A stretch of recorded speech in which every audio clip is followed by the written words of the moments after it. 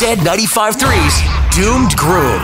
Matt, what is it that about Doomed Groom? What is it that worries you about seven days, seven nights attached to your potential future mother-in-law? Well, my beer intake's gonna have to suffer a little bit. But Some would uh, say it should increase. yeah, well, I, I I don't think I'm gonna be able to get away with that. Okay. Um, if you know the hotel has a mini bar, we might get into that, but we'll see. Um, I'm I don't know.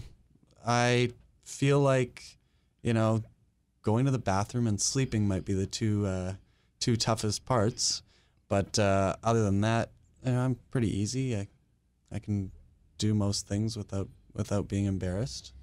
Um, You can do this without being embarrassed. her her mother, on the other hand, might have a, a little bit of trouble, but but we'll see.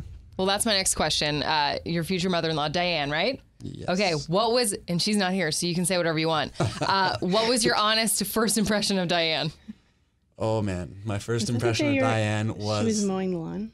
Go ahead. uh, yeah, well, that wasn't really my first impression because she decided that she knew I was coming over. She decided that she was going to mow the lawn in her the best possible clothes she could find. She looked, it was the nicest I've ever seen anybody look mowing the lawn. But my first real meeting with Diane was uh, the night I went over to their house to play Cards Against Humanity. There's a That's an great, interesting first great, time. great first meeting.